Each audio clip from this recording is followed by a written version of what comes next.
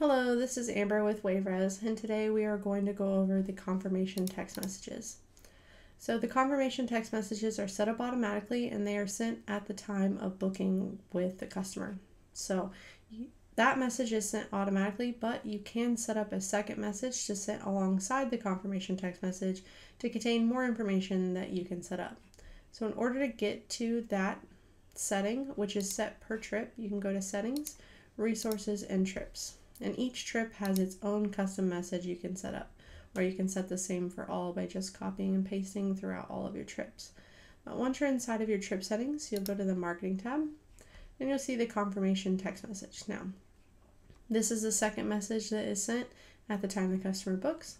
And I've typed in some information here, just some basic stuff here in our test account just to see what it would look like. So you can see that. I just put a basic information, arrive early, what to bring, the address, and a phone number. It's common information, but you can put anything in here. I think there is a 500 character count max somewhere around in there.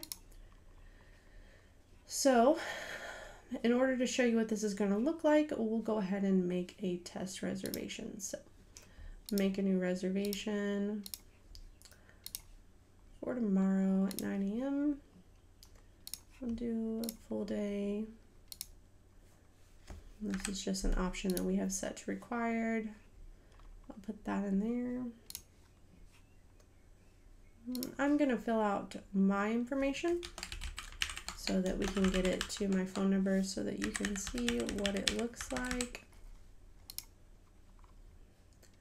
And we're not going to send an email confirmation. We'll just do a cash one, complete booking.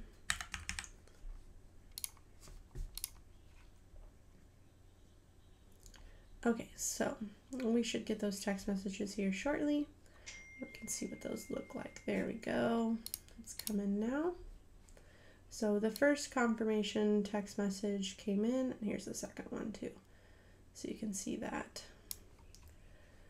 So it does say your booking's been received. It gives me a link to go and view the voucher. Oh, I'm sorry, that came up in the wrong screen there. Copy that link and bring it in here.